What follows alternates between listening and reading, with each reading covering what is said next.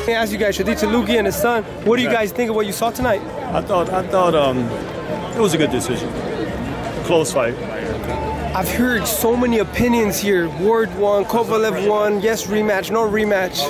You know what? This, this is my thought of it. I thought the first half of the fight, um, you know, he scored a, a, good, that was a good knockdown that Kovalev scored. I thought the second half of the fight, I think Kovalev let it all, he just, he dropped the ball. And he, and he allowed room for Andre to really out hustle him in the second half to the point where, you know, it, it equaled the, knockout, the, the knockdown that Kovalev scored. So I, I, think that you know it, it was a, it, was a, it could it was a coin toss to me. Kamil Shadeed, I was shocked by the scorecard. I didn't, nothing I expected to be that 114, 113. It's not.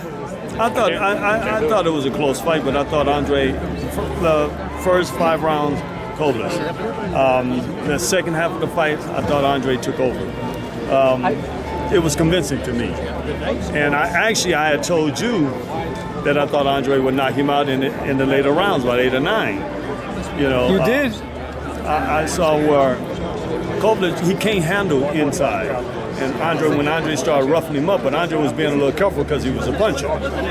You know, so yeah, I thought it was a fair decision. One question: uh-huh. December 10th, John Molina Jr. Crawford, Team Crawford told me Molina wins two rounds, four rounds, five rounds, six rounds. But No one. Hank Lundy tonight, I interviewed him. He said, "I fought John Molina. If John Molina lands, he knocks out Terence Crawford."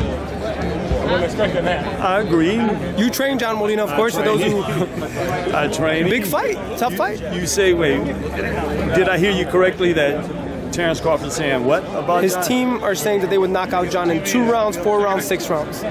Different people on the you know, they seem to be kind of confused. Cause, you know, what you're telling me, someone is saying two rounds, and someone saying four rounds, someone is saying six rounds. So they sound to me like they're really, you know, not confident among themselves to come up with either two, four, six.